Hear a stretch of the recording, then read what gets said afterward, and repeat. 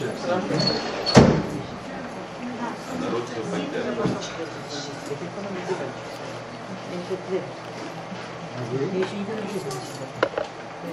вопрос.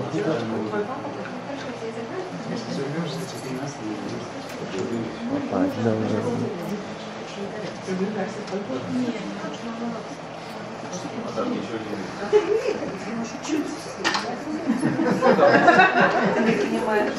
Часть. Так вот, э, мы знакомились с немецкими романтиками, и следующие на очереди у нас романтики английские. Заходите.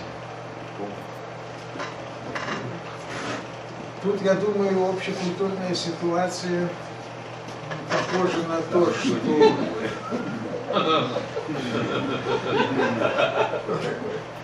Здесь уже три человека сидят.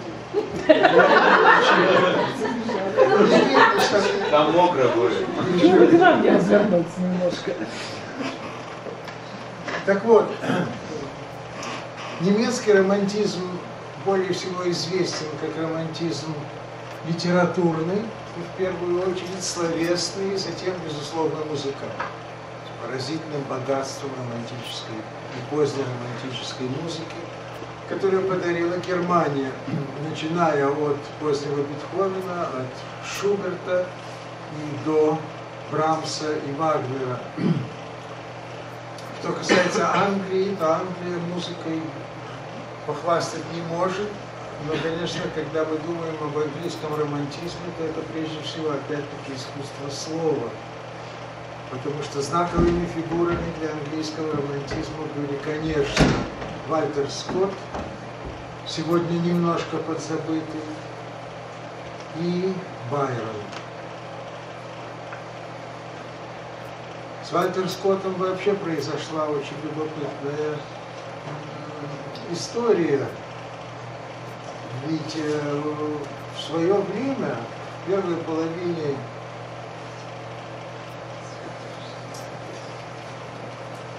первой половине XIX века Вальтер Скотт оценили невероятно высоко. Сегодня он считается скорее таким юношеским чтением, если его вообще кто-нибудь читает.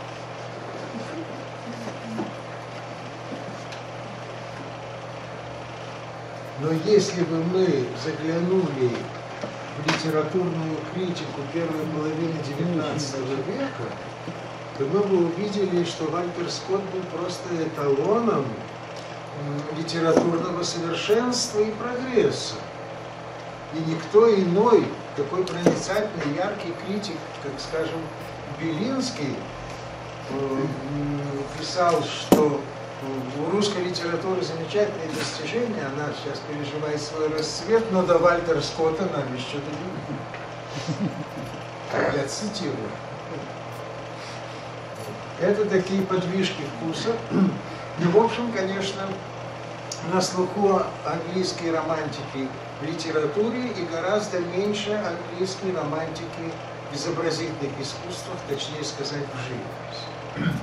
Тем более, что английский романтизм тоже очень своеобразен. Каждый романтизм по-своему, я пытался показать уже на сопоставлении французских живописцев романтиков и немецких. Английский добавляет еще одну грань.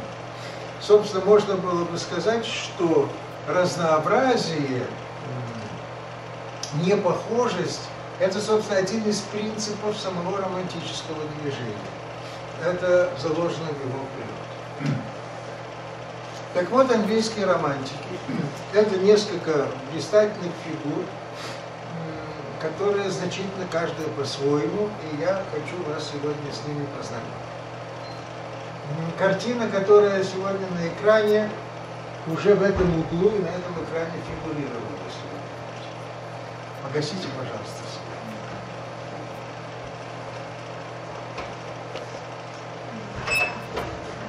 Сейчас. Немножко ее сейчас фокусирую.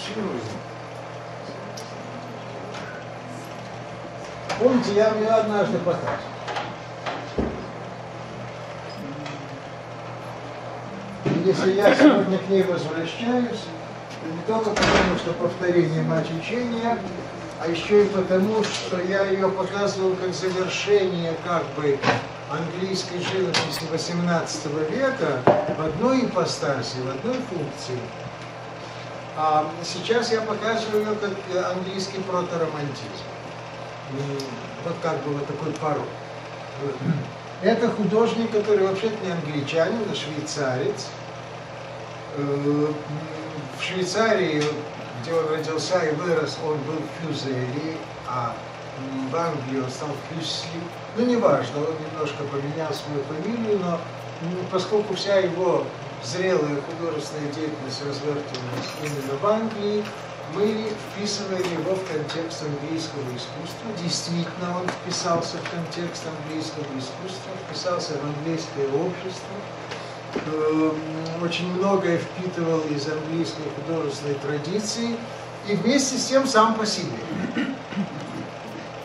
Вот э, те фантастические картины, которые снискали ему славу и которые сегодня являются хрестоматийными, они как раз и делают Фюсли как бы предшественником э, романтического движения в Англии. Но это, пожалуй, самая знаменитая его картина «Ночной кошмар».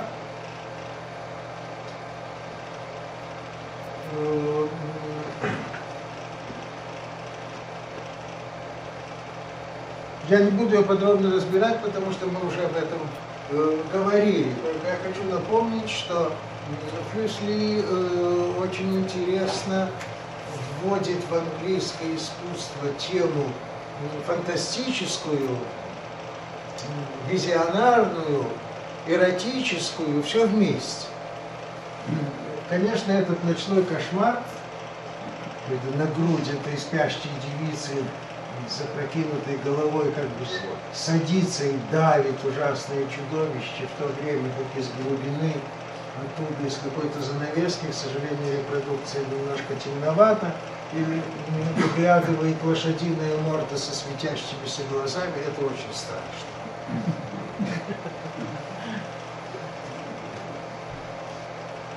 Слово кошмар связано с? Слово кошмар, вы имеете в виду акустический? Да, начинает, начинает кобыла. Нет, ни в коем случае. Хотя и там, там буквы К и О фигурируют, но кроме того не надо забывать, что это все по-английски. Так я про-английский говорю. Nightmare. А, Nightmare. Э, на этом он играет, да. А. Это, вот, по-русски это никак не улавливается. На этом он играет, э, безусловно, вот, но в общем, это нечто принципиально новое по отношению к английской традиции, какой мы ее помним.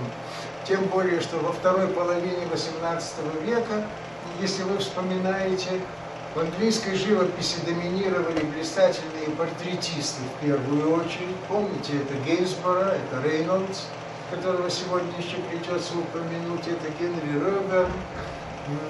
Затем пейзажисты, немножко жанровые живописи. Если говорить о том, какие вкусы господствуют, то это поздний классицизм и реалистические мотивы, и рококо. Но вот такого там нету. Этот швейцарец приносит, вносит свою ноту и самое время, потому что эта тематика, эти сюжеты вполне отвечают романтическому настроению. Вот еще одна картина. Фюсли, она прямо по Шекспиру. Вот это его фантазия, как вы узнаете, это по мотивам сна в летнюю ночь. А, вот, а такая вещь, скажем, э, достаточно вольная для своего времени, она к тому же еще представляет очень занятные вариации на тему, заданную Тициану. У Тициана есть знаменитая картина «Лежащая Венера», только за музыкальным инструментом сидит молодой человек, который оглядывается на богиню.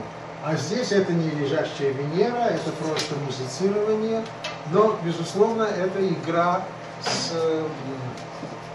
классической тициановской картиной.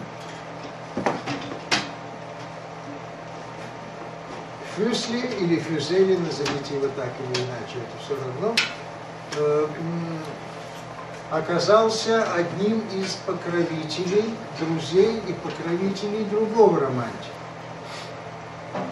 о котором я буду сейчас говорить уже более подробно.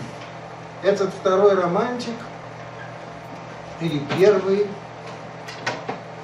демонстрирует гетерогенность, многогранность, многоприродность романтизма лучше очень много.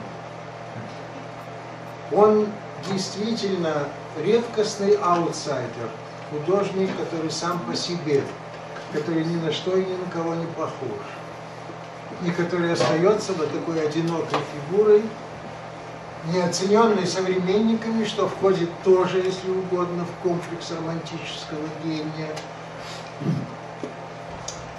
Художник, которого мы больше знаем как поэта, потому что вообще личность многогранная, человек многогранно одаренный и многогранно себя выражавший как в слове, так и в визуальном образе.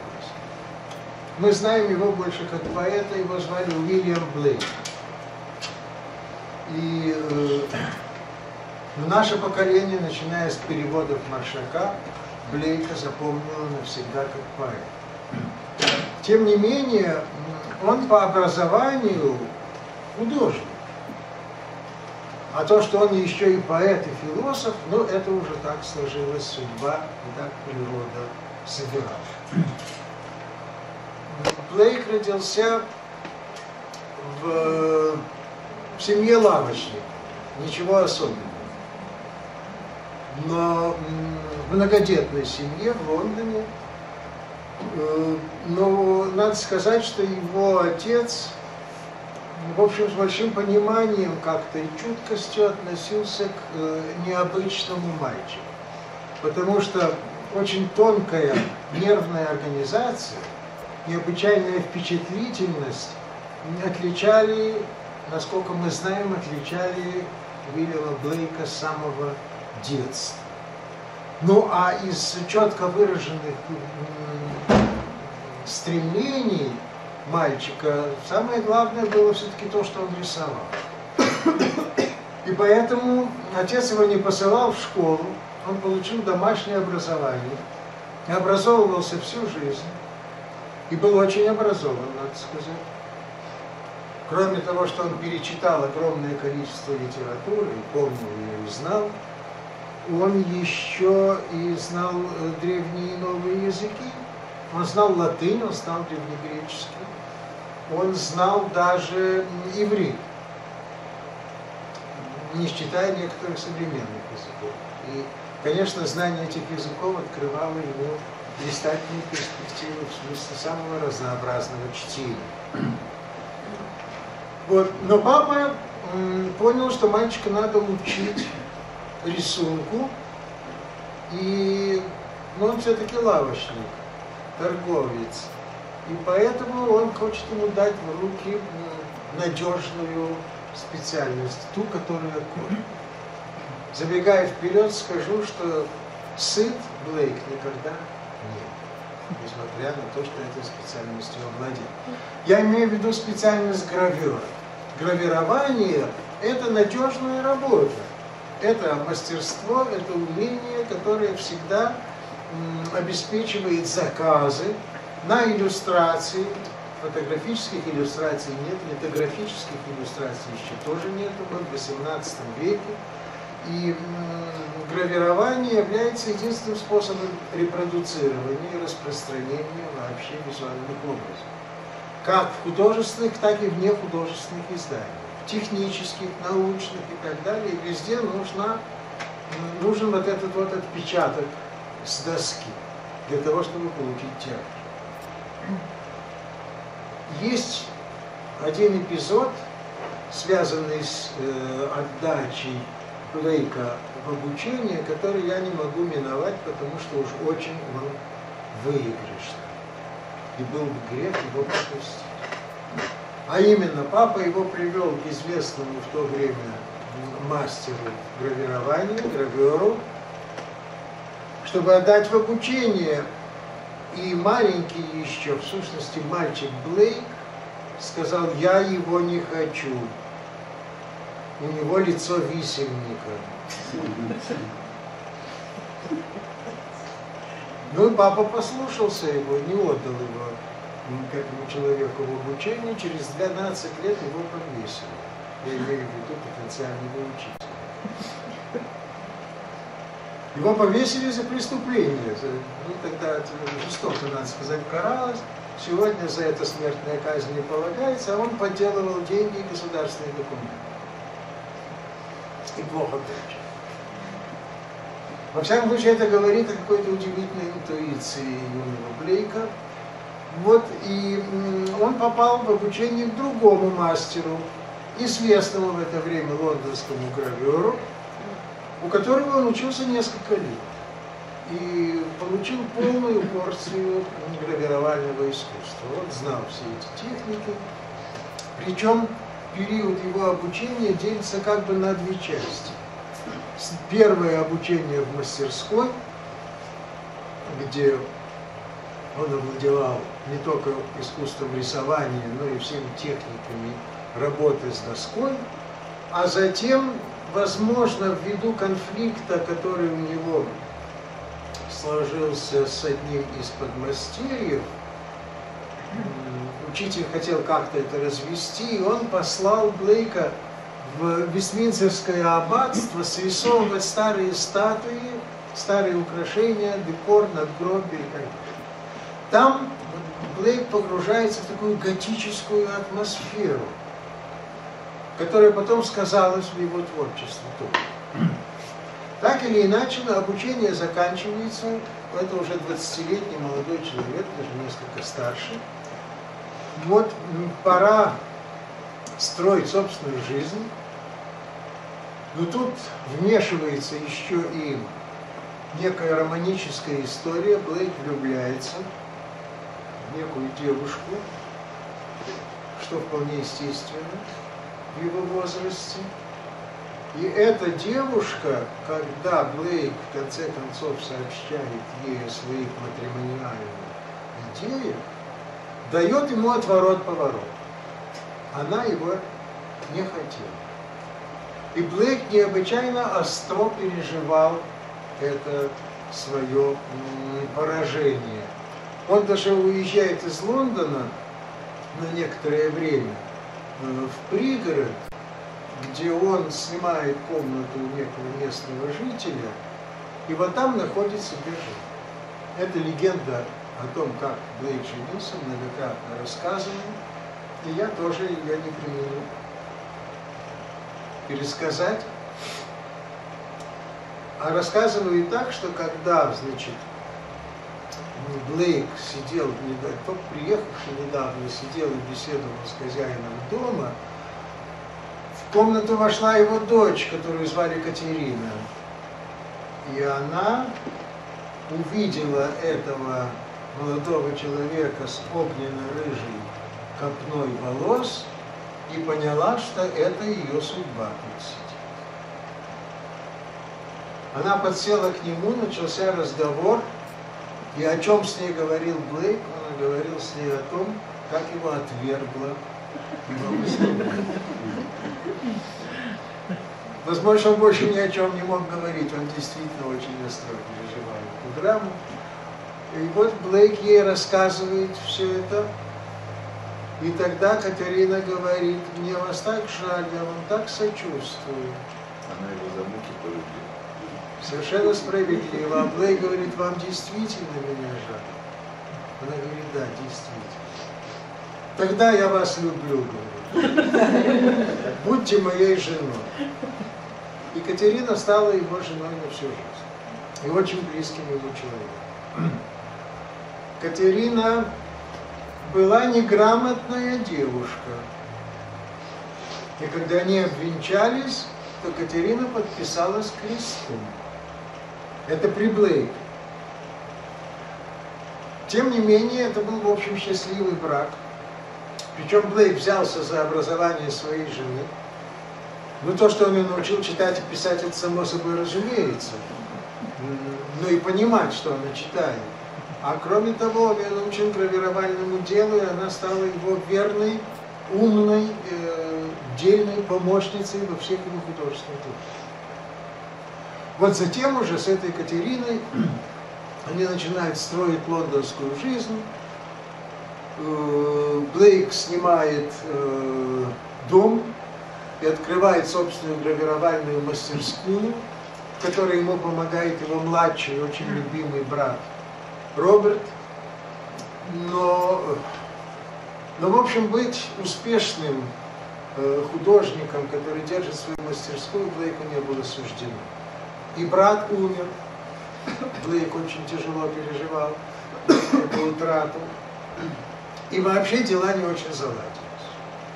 А кроме того, Блейк еще ведь писал стихи, прозу. И э, все это вместе как-то изливалось из этого гения. И стихи эти не особенно кто понимает. Ну, к счастью, Блейк э, вошел в круг лондонских художников и образованных людей, интеллектуалов, которые его понимали, ценили и поддерживали всю жизнь, потому что Блейк никогда не стоял точно экономически на ничего не получалось. Тем не менее, он должен был выговориться. И вот он начинает писать и публиковать сам себя. потому что других публикаторов, собственно говоря, и нет. Он изобретает особый способ, я думаю, что можно пока зажечь свет и дать этому слайду отдохнуть неприлично.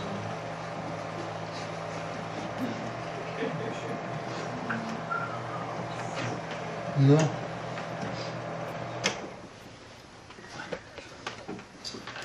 Так вот, Блейк пишет стихи.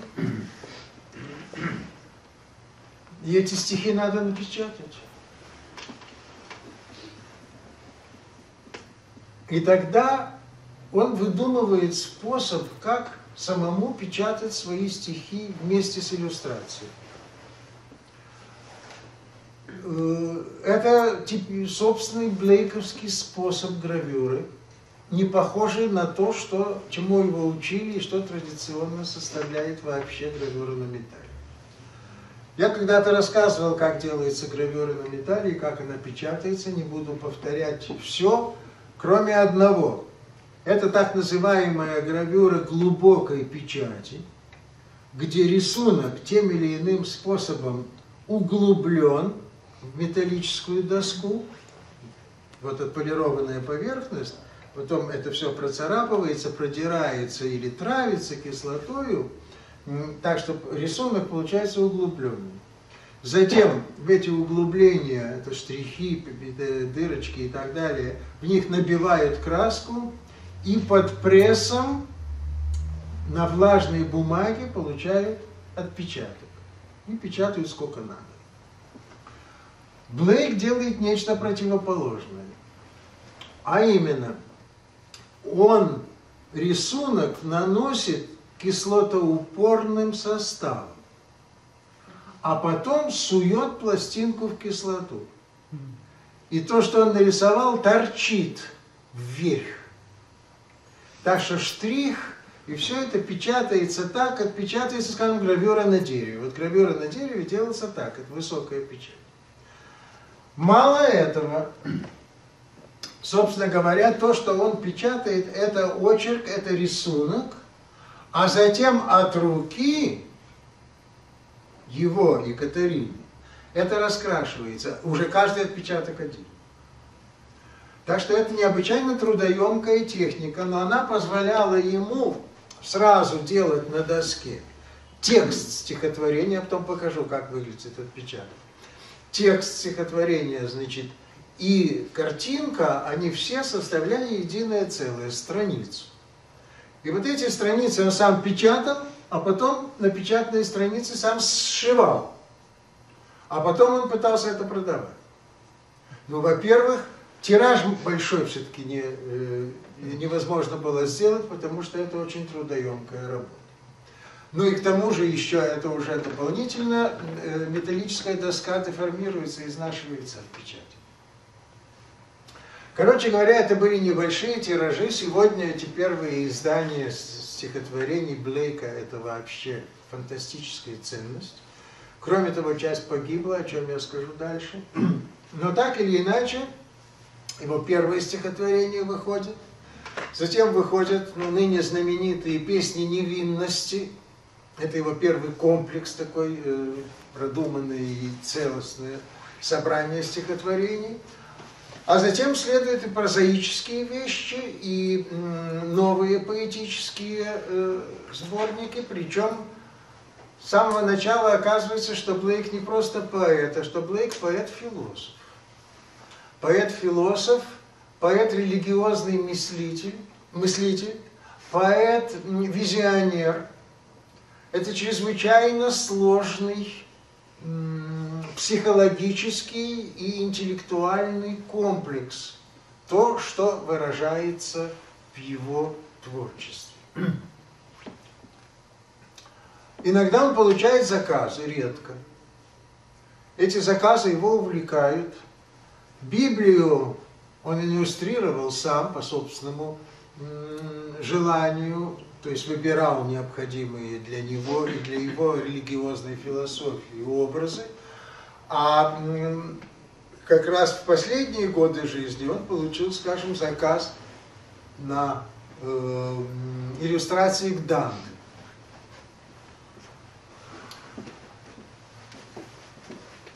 который не успел закончить.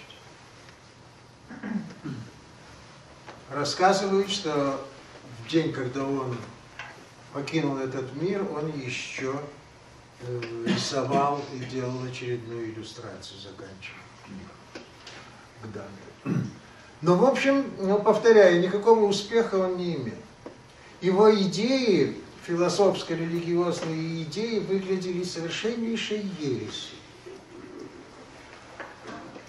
И это, э, надо сказать, плохо кончилось для нас с вами. Потому что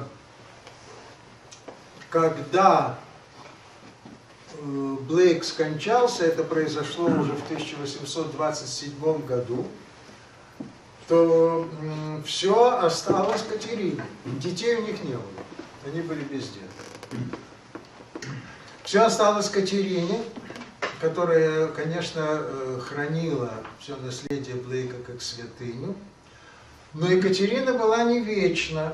Она умерла в 30 1992 году, спустя пять лет после смерти мужа. И вот тогда все это наследие Блейковское забрал себе один из его как бы единомышленников и учеников, малоизвестный художник. Он и скульптурой занимался, и живописью занимался, и был как бы последователь Блейка. Но в то же время это был чрезвычайно ортодоксально верующий человек. Фанатик просто, фундаменталист, как мы теперь это называем. И он стал уничтожать те сочинения Блейка, которые ему представлялись еретическими. Причем э, сочинения, э, это значит и тексты, и рисунки, потому что это все взаимосвязано, это часто одно и то, вот такой вот единый организм. Так что из-за этого фанатика религиозного, к сожалению, часть наследия Блейка погибла, а остальная пребывала, в общем, в э, некой полутьме забвения, пока во второй половине только века Блейка стали вспоминать и как поэта, и как художника, а исследовать его по-настоящему начали только в 20 веке. В нем все самобытно, как мы сейчас увидим. И его идеи, и его религиозно-философские идеи, и его стилистика. То, как он рисовал, что он изображал, и главное, как он изображал, все это настолько неповторимо, что человек, который однажды видел акварели, гуаши или отпечатки Блейка, уже другой раз не может не узнать. это совершенно индивидуально. Стилистика его своеобразна с одной стороны, с другой стороны она получила отклик гораздо позже, отчасти в стилистике стиля модерн, который сложился на рубеже 19 и 20 века.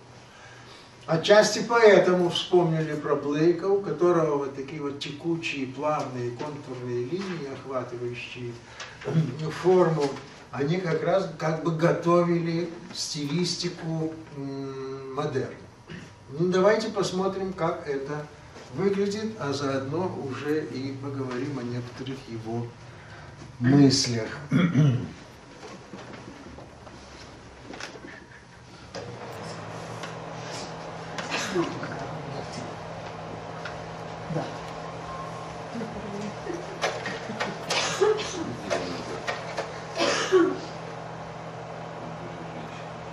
Это страничка песен невинности раннего сборника стихов Блейка. Вот так он это делал. Это все награвировано. Текст, который торчал напечатан был, и вот такой вот декоративный рисунок вместе со сценой, который образует даже визуально единое целое с текстом. Как видите, Блейк не мыслит картинку отдельно, иллюстрацию отдельно и текст отдельно, а он мыслит цель, целостной страницей, которую организует орнаментально и вместе с тем включает сюда нужный ему сюжет. Возможно, что такому решению способствовала не столько культура книги XVIII века, как правило, 18-вечная книга выглядела иначе, а гораздо более древние ассоциации, в особенности я имею в виду готические рукописные книги, которые украшались миниатюрами и декором, так, что вся страница составляла вот такое некое декоративное текстуальное целое. Конечно, здесь нету готических мотивов, но самый принцип организации страницы, самый принцип организации печатного листа, который напоминает рукопись все хотя это награвировано, но это сначала написано рукой на доске. Вот, она перекликается с средневековыми книгами рукописными. И надо сказать, что от этих идей Блейка тянутся нити как в прошлое, откуда пришло, так и в будущее, потому что вот такая вот концепция целостной страницы, целостной книги как единого художественного организма, она снова воскреснет в конце XIX века у предшественников модерна и получит полное развитие, полное звучание как раз в искусстве этого стиля рубежа 19 и 20 века.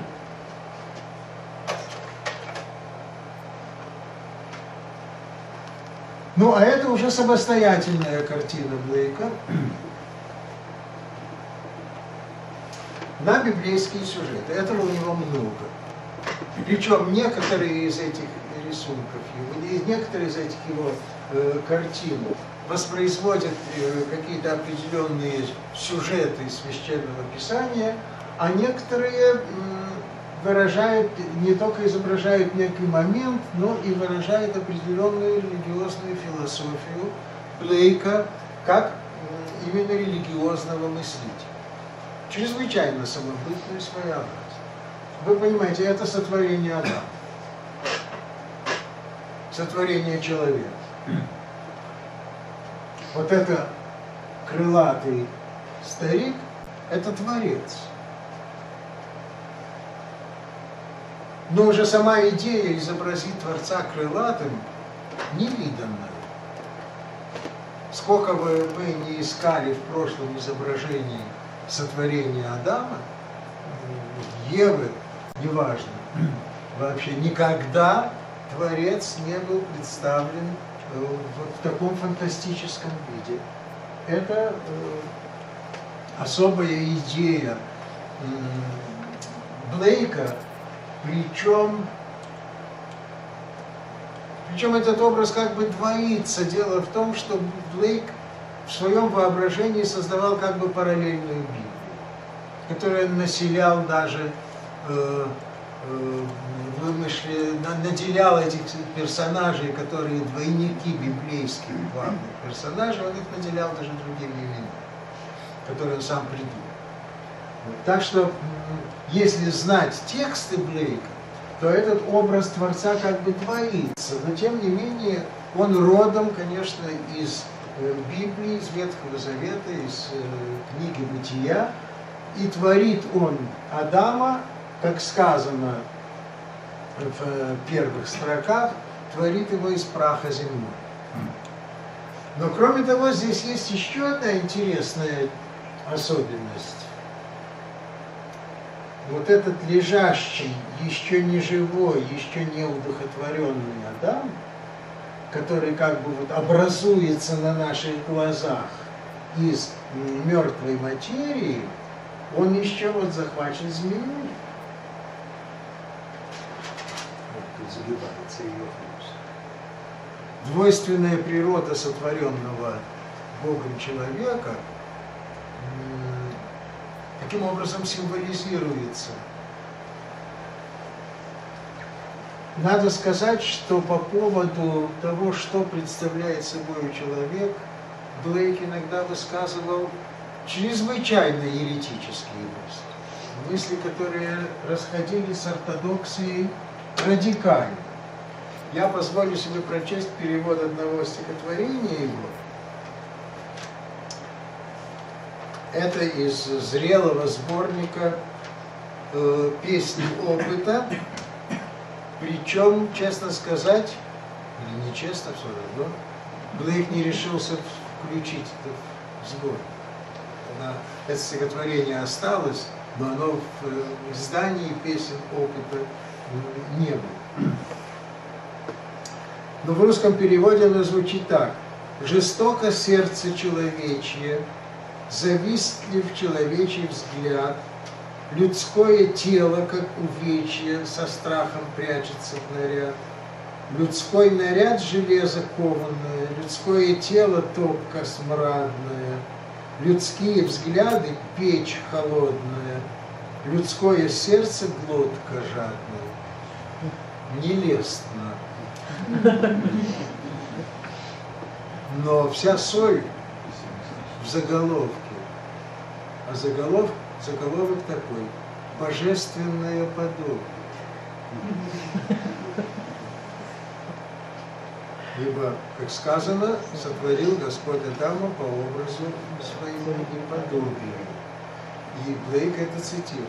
Причем, я подчеркиваю, это стихотворение пишет глубоко верующий человек.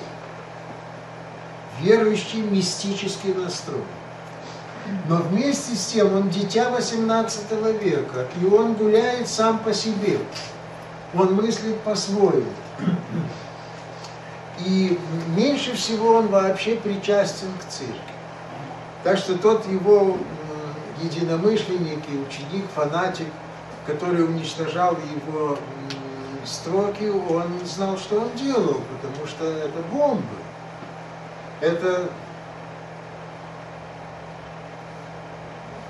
человек, который э, мыслит совершенно самостоятельно и независимо ни от чего, совершенно независимый ум. Мне даже хочется употребить эстонское выражение, которое совершенно непереводимо. Это одно слово «иземытлея».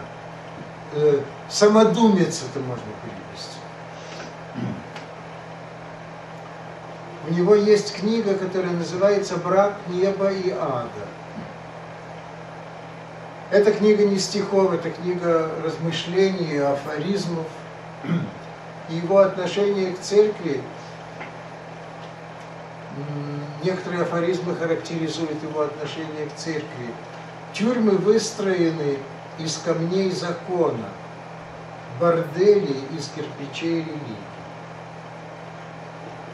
Подобно гусенице, которая для кладки яиц выбирает прекраснейшие листья, священники накладывают проклятие на прекраснейшие радости. За этим стоит определенная идея Блейка, которая находится в полном противоречии с христианской идеей аскезы, то есть отказа от земных радостей. Блейк не принимал, принципиально не принимал одно из обоснований, одно из основных краеугольных камней вообще христианской мысли, христианской жизни, христианского поведения, а именно раздвоение души и тела. Вот эта двойственность, дух, душевная, духовная жизнь и плотская, причем плотская идет от дьявола в конечном счете, и она презренна, преступна.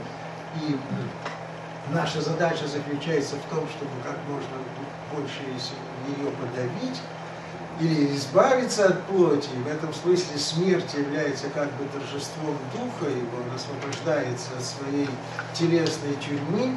Вот эта идея, как ни странно, была Блейку отвратительной. Не только Блейку, вы совершенно правы, да. Вот тут есть целый э, ну, целый лабиринт идей, которые можно обсуждать, но мы должны будем вернуться к искусству. Поэтому я просто хочу сказать, что для Блейка человек, человеческая личность, это некое единое органическое целое, которое не распадается на две враждующие между собой части. Уже в этом смысле он, эм, безусловно, еретик. Вот все это он выливает в своих видениях, в своих картинах, особенно картинах на религиозные сюжеты, но не только религиозные, он э, разные сюжеты и разные библейские места привлекают его внимание как художника.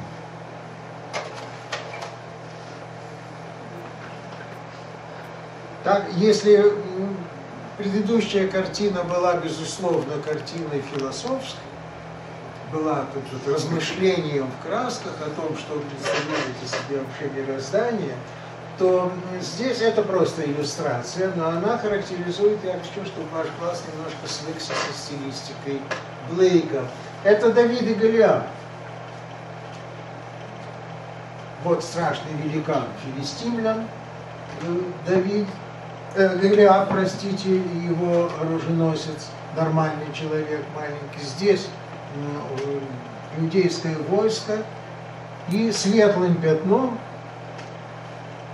простой вертикалью, мальчик-пастух, идеализированный в духе Блейка же, мы увидим такие лица в его других картинах, который противостоит этому чудовищу. Воля и бесстрашие против грубой силы. Но это чистая иллюстрация повествовательная. А Блейк чаще склонялся к таким символическим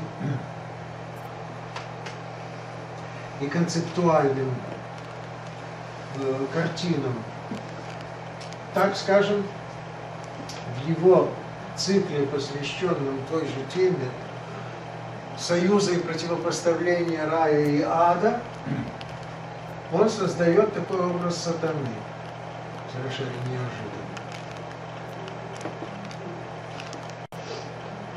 Очень характерная размахом во весь лист монументальная фигура с крыльями, ну, если говорить об истоках этого образа, то, по-видимому, он восходит к библейскому месту, которое есть в книге пророка Иезекииля. Боюсь, что никто не помнит, что там у Иезекииля. Но это вообще в э, книгах пророков это очень важное место, потому что Иезекииль это пророк, эм, чье, чья жизнь и пророческая деятельность датируется шестым веком до нашей эры, и это век Вавилонского плена. И видения, которые описывает Иезекииль, это видения, которые ему были даны в Вавилоне во время Вавилонского пленения. И они еще замечательны тем, что это одно из редчайших немногих в Библии описаний того, как смертный человек видит Бога. это видение, это действительно видение. Там появляются серафимы, херувимы, там появляется э, знаменитая колесница, на которой едет само божество. Э, Все это описано очень ярко, страстно, можно сказать, с э, значительной долей восточного воображения. И, в общем, можно понять, откуда эти образы родились у библейского пророка. Они навеяны вавилонским искусством, когда в XIX веке стали раскапывать Азию, то оказалось, что вот там просто этот зрительный материал, который, очевидно, вдохновлял Иезекииля на описание его небесных видений. Мы еще вернемся, я покажу еще одну картину Блейка, посвященную прямо видению Иезекииля. Но вообще, скажем, вот эти многокрылые, эти многокрылые образы, многокрылые серафимы, которые описывает Иезекииль, они, конечно, дают пищу для воображения э, Блейка.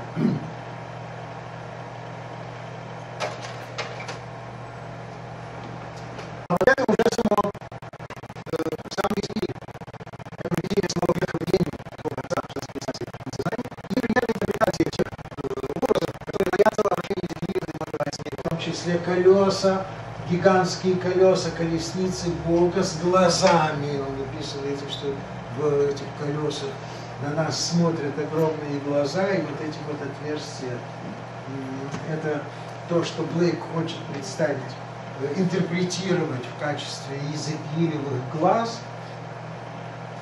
Это небесные существа, которые э, влекут и стерегут колесницу Бога, и, наконец, он сам вверху, каким его описал Иезекииль.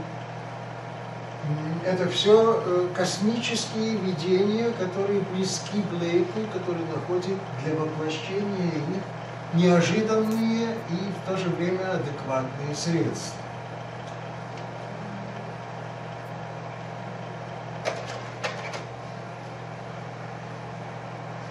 Следующая сцена повержения э, падших ангелов, которые извергаются с, с неба и падают в преисподнюю, на что они осуждены Богом. Апокалиптический сюжет – это э, Откровение святого Иоанна, последняя книга Нового Завета. Как вы помните, с, э, и Иоанн ученик Христа, евангелист, э, автор, как считается, четвертого Евангелия, Евангелия от Иоанна, описывает здесь видение, которое было ему на острове Патмосе, где ему небо разверзлось, и ему предстали последние дни мира. В частности, среди этого потока видений, которые описывает Иоанн, четыре апокалиптических всадника – Вообще э, сцены апокалипсиса – это сцены наказания, сцены мести, сцены последней стычки добра и зла. Вот, и четыре апокалиптических всадника – это четыре гневных мстителя, в общем, за грехи человечества. Конечно, самое значимое изображение этих четырех апокалиптических всадников мы находим – в апокалипсисе Дюрера, в гравюрах на дереве Дюрера, который он, конечно, знал. Но он не следует за Дюрером и создает свой вариант одного из четырех всадников на бледном коне, на белом коне, вот, который, размахивая мечом, учится, чтобы осуществить месть почитающейся грешному человечеству. Как вы думаете, какого размера эти картины? В чем они выполнены? Это масло? Нет. Небольшие. Это, как правило, гуаши, акварели. Э, и они небольшие, но кажутся огромными. Мы можем эти картины просто перенести на стены Э, И они будут выглядеть как монументальные росписи, они выдерживают любое увеличение. Это очень интересное еще свойство м, картин э, Блейка. Он не имел возможности, он не работал маслом, почти практически он не имел возможности сделать большие холсты, он делал сравнительно небольшие рисунки. Это рисунки акварели с гуашью, с, э, вот, но тем не менее мощный язык, лаконичные очертания, лаконичные поверхности и сама композиция заставляет нас чувствовать их как монументальные произведения, готовые для того, чтобы украшать стены какого-то специального здания.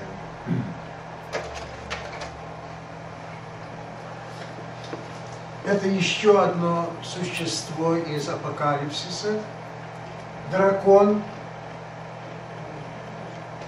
И остается только поразиться тому э, богатству воображения, которое позволяет Блейку сделать из человеческих, птичьих и растительных форм вот такое вот совершенно удивительное чудовище, которое смотрит и назад, и вперед, так развертывая свои чудовищные крылья, которые покрывают почти всю поверхность холста, э, ой, ну, листа, простите, в данном случае.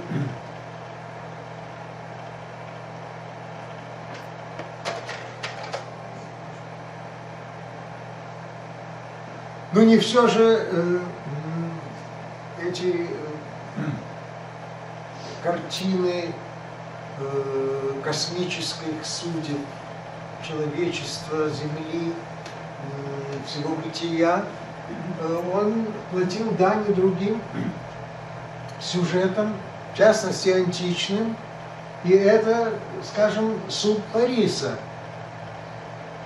известный мифологический сюжет, вот э, яблоко надо, Борис должен дать прекраснейший. Хорошо видно? Мне кажется, немножко размыто, нет? Попробую сделать чуть более четко.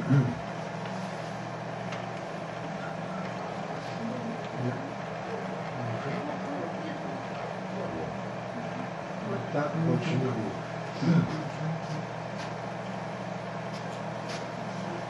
Теперь мы можем на минуту отвлечься от грандиозных событий, грандиозных видений, которыми нас потрясал Блейк только что, с тем, чтобы обратить внимание на то, как он рисует. Конечно, он прошел классическую школу, и в этой классической школе он, конечно, хорошо овладел прежде всего искусством линии что какую бы вещь мы ни взяли у него, всегда линия и контур играют чрезвычайно важную выразительную роль. Ну а здесь это прекрасно видно, поскольку речь идет о том, чтобы представить всю полноту человеческой чувственной красоты и вместе с тем придать ей идеальный облик мифа. Поэтому вот, э, охватывающие мягкие, текучие, плавные линии, очерчивающие фигуры, э, и женские, и мужские, и даже фрагменты пейзажа, и эти растения неопределенной породы, которые составляют фон, вытянутые, вот эта летящая фигура Гермеса, все это очень типично для стилистики Блейка. Если до сих пор я на это не обращал специального внимания, то пора. И именно эти особенности, вот эти типично блейковские фигуры, составляют как бы его сигнатуру, которую невозможно не узнать.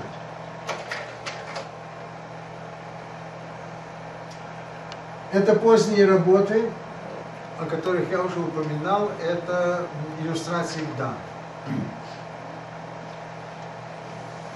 Часть осталась в рисунках, цветных рисунках, часть он успел даже нарезать, готовя э, гравюры.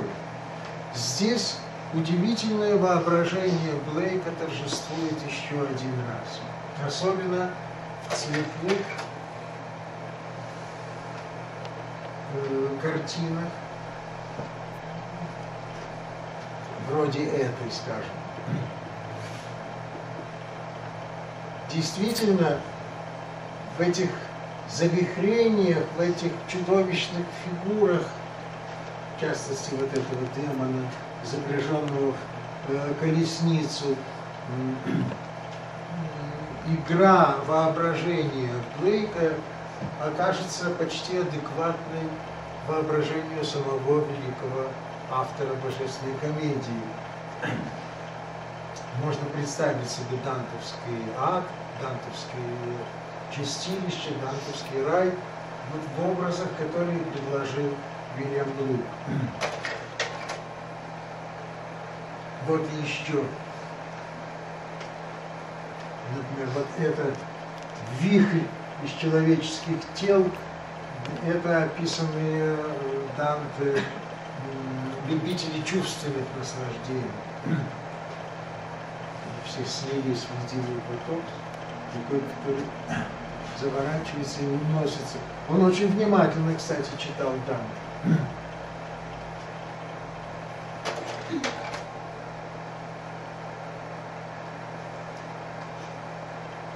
Ну и в заключение я хочу показать еще одну картину, посвященную сотворению мира. Она нам интересна и сама по себе, как тот же Творец, ветхий дельный Творец, среди облаков и молний, сопутствующих его творческому усилию, вдруг неожиданно измеряет пустоту, еще не готовую пустоту, измеряет циркулем для того, чтобы заполнить м, будущим творением. Эта идея напоминает еще раз о том, как внимательно Блейк смотрел на старинные средневековые изображения и книги, когда он был в Вестминстерском аббатстве еще учеником, а может быть и позже. Потому что идея Го- Господа, Творца с циркулем, эта идея неоднократно повторяется в с- средневековых, э, особенно готических миниатюрах в э, религиозных книгах средневековых, западноевропейских. Вот одна из них. Вот. Здесь снова тот же Блейк. А здесь изображение Творца из старинной рукописи вот, с зарождающимся еще в творении мирозданием, м, которое измеряется все тем же циркулем. Проверяется на гармонию. Так переваривается и трансформируются старые идеи в творчестве мастера.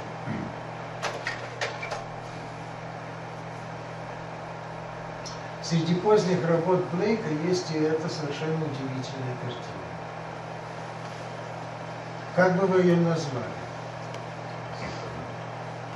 Нет, это совершенно не сатана. И вообще этот образ не имеет отношения ни к аду, ни к раю, ни к сотворению мира. Ну, Квазимода это быть не может, потому что вряд ли он читал собор Парижской Богоматери. Гюго его еще не написал, Блейк умер в 27 году. Поэтому Квазимода это быть не может. Ну, в общем, я не буду вас мучить, потому что ни за что не угадаете. Мало того, что это образ э, фантастический, он еще и чрезвычайно парадоксален. Потому что это блошиный дух. Дух блохи.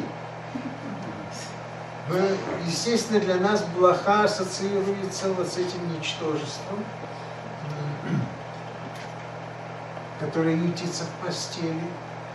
Но Блейк берет из этого сюжета самое главное – питье крови. И вот это омерзительное, мощное, по-своему, монументальное, мощное, омерзительное существо с высунутым жалом изо рта держит горшок с кровью.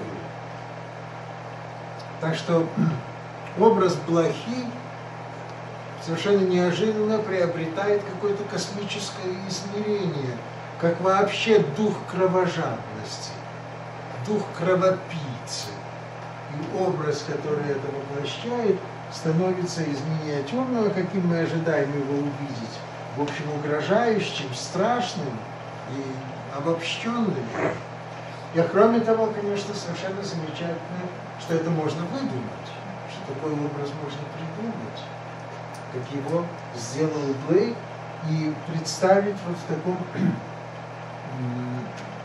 виде, с какими-то падающими звездами, с тяжелыми занавесями, которые образуют раму, и, наконец, самой золотистой, золотистой фактурой всего, вот этим свечением, которое придает ему совершенно неожиданный характер. Вот так он фантазировал в самых разных направлениях, в том числе и вот создав такой образ, который неожиданно перекликается, наверное, больше всего с некоторыми фантастическими образами Гофмана. Своего рода визуальная гофманиада, которая возникает на совершенно другой почве у другого автора, но перебрасывает мосты, перебрасывает мосты к совершенно другому Что? Вот у него правая рука. Хвостик, да.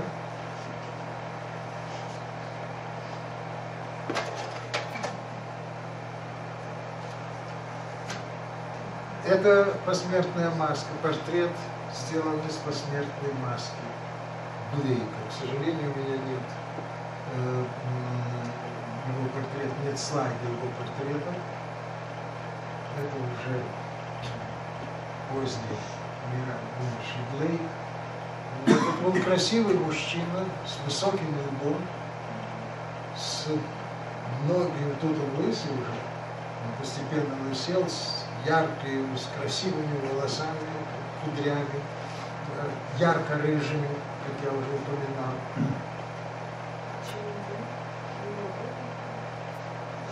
Он, нет, он не был таким уж молодым, потому что он родился в 1755 году. Ну, молодость понятие относительное, конечно, но при продолжительности жизни, которая в 18 начале 19 века была средней, ему было 72 года. А? Кажется, что 50 с чем-то, ну тут трудно сказать, потому что снимается посмертная маска, с посмертной маски делается бюст, голова даже тут происходит известная трансформация Но вообще это был красивый человек с крупными глазами, вот, с действительно вдохновенным взором. Человек необычайно сложный и необычайно э, жизнью. И вот такой вот одинокий Другие английские романтики выглядят прямо скажем, иначе. И в остальном английский романтизм выразил себя, если не считать Блейка, выразил себя снова-таки в пейзажной живописи. Подобно тому, как в Германии как бы символом романтической живописи стал в конце концов Каспар Давид Фридрих, так э, английская романтическая живопись стала особенно славной благодаря двум великим пейзажистам. Это Тернер и Констелло. Почти, практически современные. И сегодня, который час Ну, мы можем еще немножко поговорить, ведь правда? Четверть десятого скоро будет. Вот, всего Тернера не покажу, но несколько слов скажу. Но в отличие от Блейка, ну это вообще совершенно другой коленкор. Мы имеем дело с совершенно другой индивидуальностью, с другой судьбой. Зажгите, пожалуйста, свет.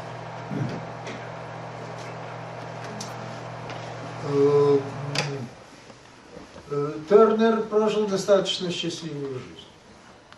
Во-первых, все было очень прилично, хотя время от времени говорили критики и даже коллеги о том, что Тернер спятил. Сошел с ума. Даже Констебл однажды сказал, увидев какую-то картину Тернера, ну теперь Тернер уже совсем сошел с ума. Для нас сегодня это сумасшествие не представляет собой ничего странного, но взгляд изнутри эпохи и взгляд из другой эпохи – это совершенно разные вещи. Вот, он тоже родился в семье, э, то, что мы называем средним классом, мелкой буржуазии. Папа был парикмахер. И еще подрабатывал тем, что парики делал и продавал. Тоже нужная вещь. Опять совершенно банальная история заключается в том, что мальчик Джон хотел рисовать. И рисовал настолько хорошо, что папа вывешивал прямо в парикмахерской его акварельки. И затем он э, достаточно быстро попал в академию, где и учился. Я забыл упомянуть, между прочим, что Блейк тоже немного, некоторое время учился в академии, года два. Совершенно и там, будучи еретиком, совершенно не принимал академические, идеи, и особенно его раздражал президент Академии Великий Рейнольдс с его идеями, с его годичными речами и так далее. Совершенно он не принимал этого. Полная идиосинкразия по отношению к шефу английской академии. Вот, а у Тернера ну о чем говорить? Все блестяще. В 15 лет его акварель уже выставляют на академической выставке. И дальше он успешно учится в этом учебном заведении, и причем многие, несколько лет он работает только в технике акварели, очень отточенный, превосходно делает э, вот такие реалистические пейзажи, пока он не становится на ноги и не начинает понимать, чего он хочет. Он очень много путешествует. Он объехал Европу, особенно Италию, которую много писал. Его картины хорошо продаются, несмотря на то, что его приемы, его методы, его живописные идеи постепенно становятся все более и более необычными, непривычными для его времени и его окружения – тем не менее, когда я говорю, что судьба Тернера благополучна, да, он был богат, даже очень богат, его картины покупались, и в этом смысле внешняя судьба этого мастера сложилась вполне счастливо. Некоторые его картины, когда он пытался быть историческим живописцем, оказывались, в общем, впоследствии на периферии, общественного интереса, а главное то, что он выразил, он выразил пейзаж. Все, что он сделал, что изобрел, это все главное в пейзаже. Для пейзажиста Тернера были в прошлом совершенно определенные ориентиры, которые дали первоначальный толчок его исканиям, и которые отразились в некоторых его картинах, не только ранних, но даже в картинах разных периодов, отразились э, достаточно внятно. В частности, это этот образец, который его воодушевлял. Это был французский пейзажист, живший большую часть жизни в Риме. Мы когда-то с ним знакомились. Это Клод Лорен. Клод Лорен, современник Пуссена, классицист, э, если классифицировать, то классицист в пейзажной живописи, писавший фантастические достаточно пейзажи э, с мифологическими такими сюжетами, с мифологическим стафажем, и придававший особое значение эффектам освещения и атмосферы, что для 17 века тоже было не вполне обычно. Вот. Э, очевидно, что очень важные импульсы Тернер получил все-таки от Клода Лорена. И поэтому мы можем сейчас проделать даже небольшой эксперимент. Я вставил в кассету в перемешку картины Лорена и Тернера некоторые. А вам предоставляется полная свобода опознать, где кто. Включите, пожалуйста.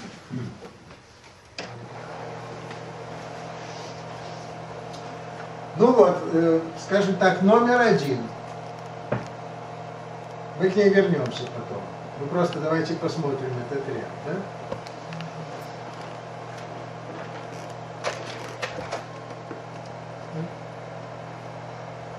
Номер два.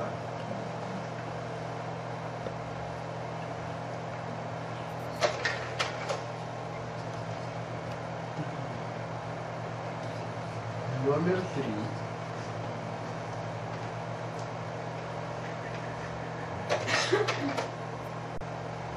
Номер четыре.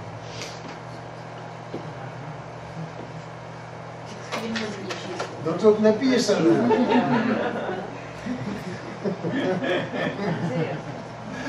Ну ничего, ничего.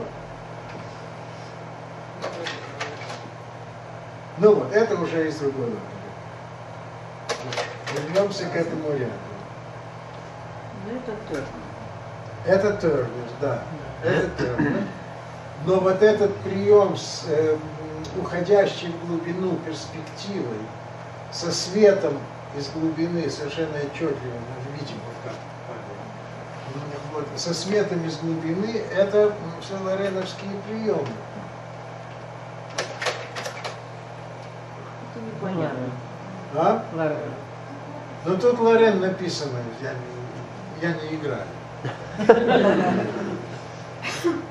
Вот. Но это чрезвычайно характерная лореновская картина. Излюбленный сюжет Лорена – гавани, какие-то дворцы, строения, скажем, вот здесь, вот эта колоннада, башни, с другой стороны, которые образуют как бы кулисы переднего плана и среднего плана, за которыми открывается даль. Благодаря этим кулисам мы особенно остро чувствуем, как уходит в глубину, как устремляется в глубину пространство. На первом плане тоже для начала отсчета обычно небольшая группа, стафаж с каким-то едва заметным сюжетом. Ну, вот этот лодочник, наверное, рыбу. Вот. И главный интерес э, живописца, собственно, живописный, заключается не в этом рассказе и не в этих архитектурных элементах, а именно в передаче воды, атмосферы и игры света в небе, влажной атмосфере. И вот этот э, перенимает, а, пардон, вот этот и перенимает Тернер в качестве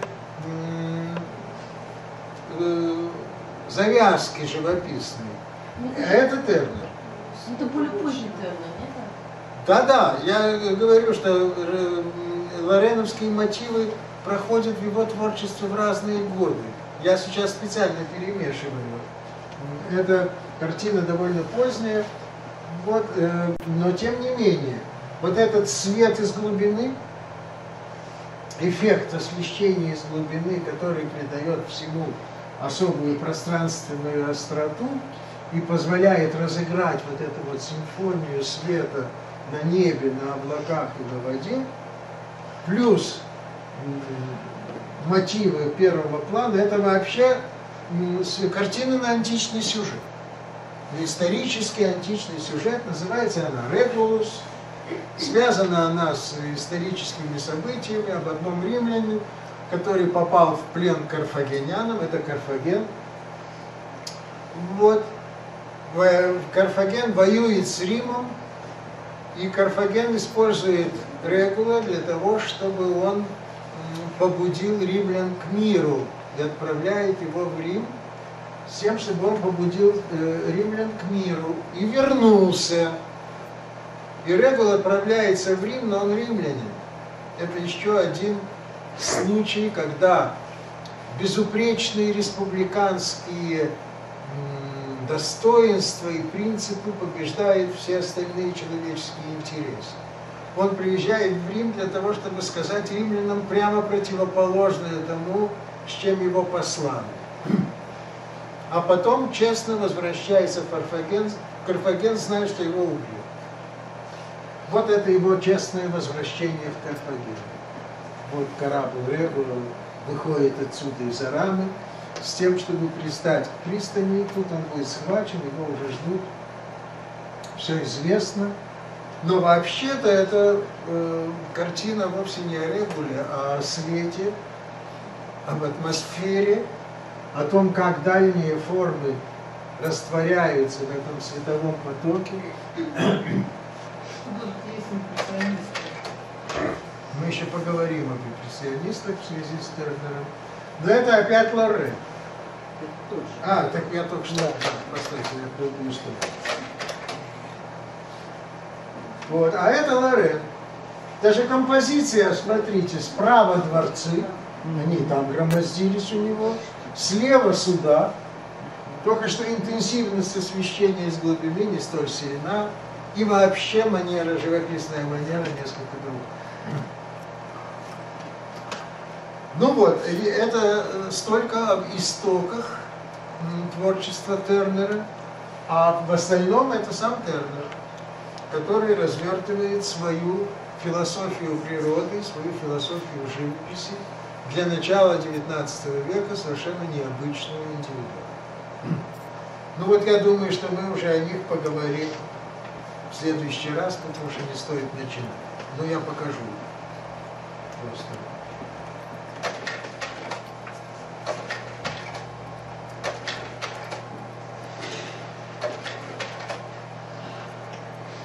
Ну еще вот эту пару.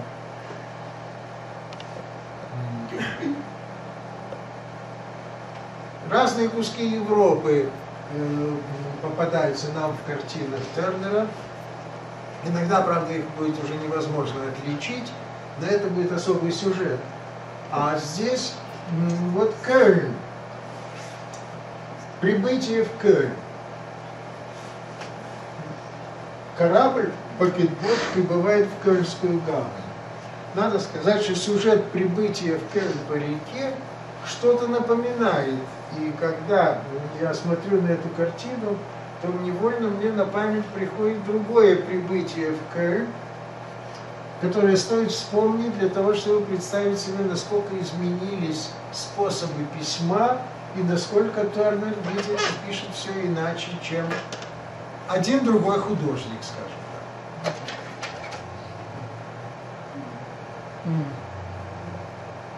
Это тоже прибытие в Кёльн, но только написанное в 15 веке. Это великий венецианский художник Карпаччо, и картина эта представляет собой одну из, один из кадров, хочется сказать, серии, описывающей жизнь Святой Урсулы. Вы можете увидеть всю эту историю Святой Урсулы в Венеции, в Академии, все, весь ряд этих картин. Вот. Ну и история Святой Урсулы, в частности, требует продемонстрировать, как папский корабль вместе с э, Святой Урсулой и ее женихом, вот как они все прибывают в Кёльн. Очень интересно, это один и тот же Кёльн, конечно, строения другие, архитектура другая, тем более, что Карпаччо никогда ни в каком Кёльне не был, это все на фантазии. Это все на выдумывал, если это Кёльн, конечно. Никакой не но это никого тогда не волновало, тем более, что и святая Урсула пребывала в Кёльн за тысячу лет до того, как он писал эту картину. Вот. Но мы сравниваем не Кёльн с Кёльном, а живопись с живописью. У Карпаччо, обратите внимание, у Карпаччо все чрезвычайно четко вылеплено. Вот. Почти геометрические формы, которые читаются, где бы они ни были, далеко или близко, с одинаковой, раз- с одинаковой разрешающей способностью, с одинаковой четкостью. Это все удивительно четкая, твердая пластика, начиная с фигур, неважно, первого плана или третьего плана, или вот этих архитектурных мотивов, которые составляют фантастический город. Начиная с вороны, которая видна в контур-ажуре, и кончая мостиком, который вон там где-то. Это все пластически чрезвычайно четко выражено. Мы как через лупу рассматриваем каждый элемент. Так мыслит вообще ренессансный художник, делая это все визуально осязаемо. А что делает Тернер? А Тернер, ну тут уже настоящий Кёльн, но это совершенно не важно. У нас тут тоже справа архитектура, слева прибывающий корабль, человеческие фигуры. Но для него самое главное это то, что происходит в освещенной атмосфере. И игра света на воде и способ вообще жизни, зрительной жизни воды, а также воздуха, облаков, которые играют, хотя их тут совсем немного, они играют очень важную роль, потому что на них играет свет, где-то высвечивая, а где-то оставляя темными. Причем написаны они совершенно иначе, свободными, быстрыми, легкими мазками. Надо только знать, где их поставить. Это совершенно другой способ вообще видеть и передавать увиденное. Там пластически, здесь, безусловно, живописно. И именно в этом направлении, в развертывании живописности и движется в дальнейшем ну, все искусство Джона Тернера. Давайте мы главные картины Тернера посмотрим в следующий раз, поскольку ком комкать мне не хочется. Если есть какие-нибудь вопросы еще, то прошу. Все молчат. Спасибо. Это не вопрос, это восклицание. Нет, да? Окей, спасибо. Приходите через две недели, и мы разберемся с этим что?